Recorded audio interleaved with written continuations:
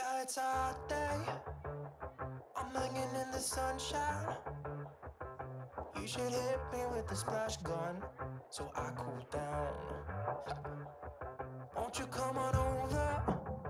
We can party till. Have you seen these? These are the new DIY mixing powders. There's all kinds of different colors, and of course, they have super fun names. Let's see if we can use these powders, some DIY paint, and come up with something super cool for this.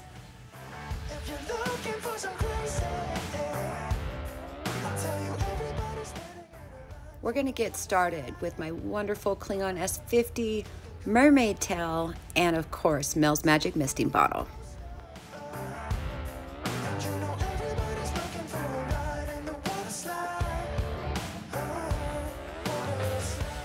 DIY paint is extremely highly pigmented. It's pretty awesome. So we're just gonna put one coat on here. That's gonna be enough for what we're going for. I built this table a few months back. I didn't do much to it. Today I decided to throw some IOD molds on there just to give those legs a little bit more. This is my first time using these new pigments, these making powders that Debi came out with. We're gonna jump in and use Van Gogh, New Year's Eve, Elixir, and Date Night. First thing, I'm gonna fill some little cups with some water and take a small artist brush. So now we're just gonna make kind of like a watercolor and see what we can do to this piece.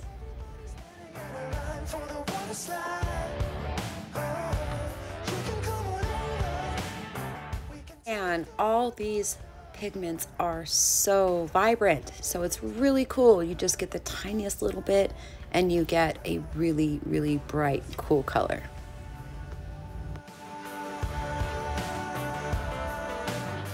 up this headboard quite a long time ago. Normally, I make benches out of my headboards. This one, I decided to make into a table. It's right about standing height, or you could use it with bar stools, or you could throw in your entryway. Anything you wanted to do, and it rolls. Always a bonus.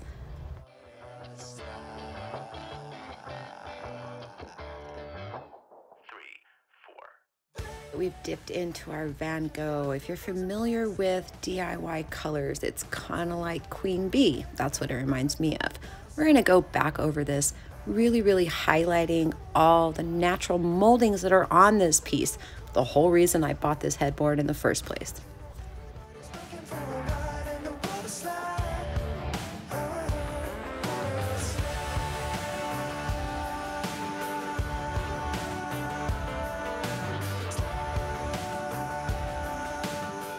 out this one. This one is called Elixir. It is phenomenal. Definitely my favorite.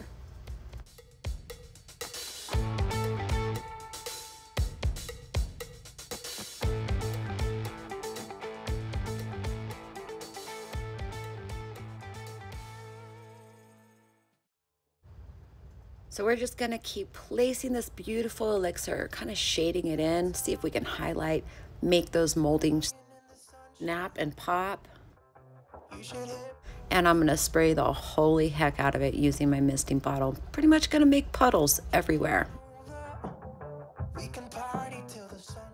And we have a guest appearance. The guy in the background, that is my air conditioner repair guy. He had wonderful news for me. Just kidding. 10 grand. I need a new air conditioner. Anybody have 10 grand around? Anyways, I had to stop, and that is why that got finished without it being filmed. Sorry about that.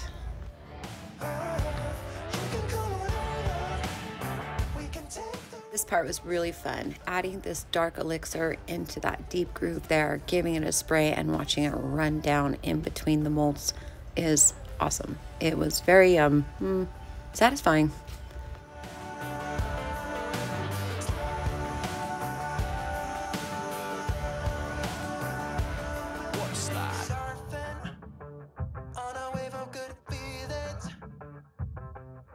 Just another Friday in paradise.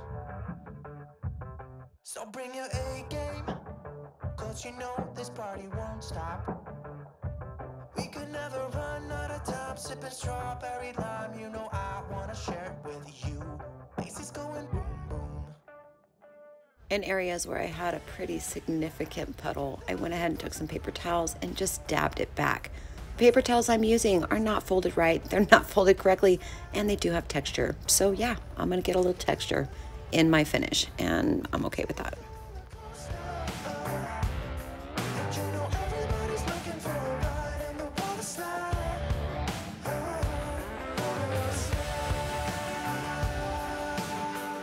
I said before, when I built this, I didn't paint it. I had no idea what I was going to do with it. So for this finish, I decided we need a little bit more. So I threw some IOD molds on there. If you're interested in any of those, you can hit up on my website.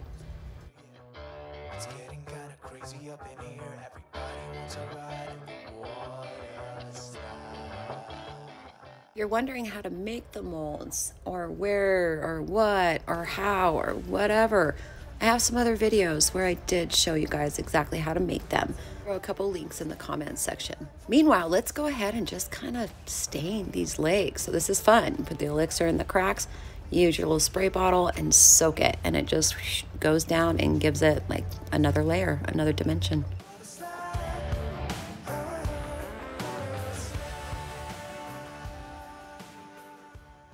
We're going to pull out our shinies, the shiny ones. So we've got Silver Lining and New Year's Eve. These have like little metallic, little, little glitteries in them. Let's go ahead and sprinkle them around, give them good spray and move that around. I actually did pick up this table and like tilt it so I could get stuff to run in different directions. I didn't film that, but I did it, just so you know.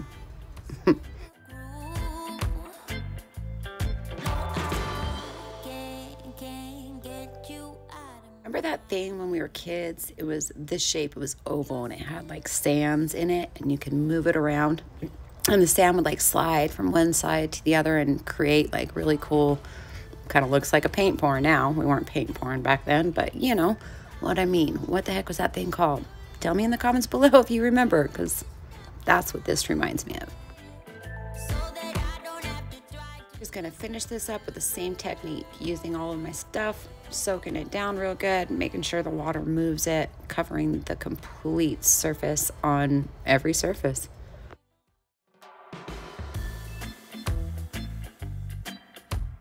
It's time to let it dry. Hard to see what it looks like because it's still, you know, half wet, half dry.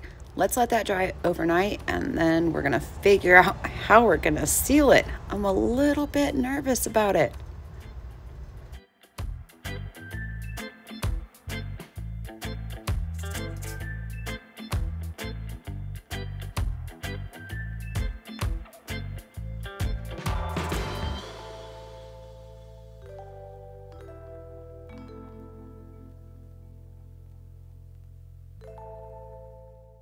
So here we are in the morning, and I have to admit, I am not unhappy about this. It actually looks pretty sweet. Yay! It's time to seal this guy up. All right, so my first thoughts were, mm, it's all gonna run together. How am I gonna do this? Well, if it wasn't a hundred and more degrees some days, and if I had an air conditioner, I would um, spray it, definitely. But you know, top coats do weird things when the temperatures get to be that high, and I didn't want to risk it. So I'm gonna go ahead and use a brush in a haphazard, crazy fashion and see what happens. As you can see, as I'm going, I am smearing some of the colors, mostly the metallics. Those are the ones that seem to be doing a weird thing. So we're gonna go against all the rules and do a dab, dab, dab motion with the top coat. Mm, never done that before, but you know, I think that's the only way that we are going to avoid completely making mud.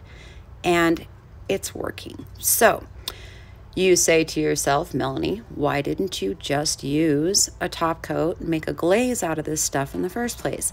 Well, I could have done that, but I really, really wanted this runny, like, look. So, top coat and glaze, I mean, yeah, you can do that, but I wanted to add all this water, like pooling and puddling, and wasn't real sure I could do that if I used top coat with my glaze or with my pigments instead of water. So, you know, where there's a will, there's a way. We'll figure this out.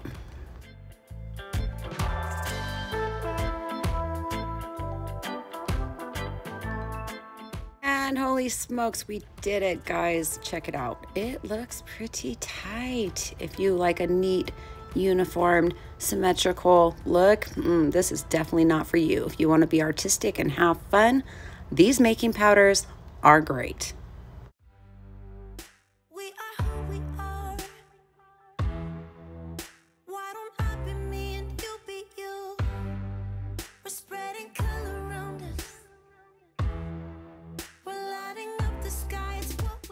Interested in getting yourself some of these making powders, you can find them on my website as soon as they're released. You guys are awesome. Don't forget, only you can make it happen. I'll see you in the next video, okay?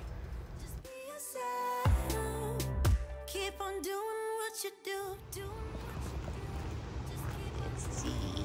Let's see what you got under there. Little chickies? Yeah. Baby candies under there?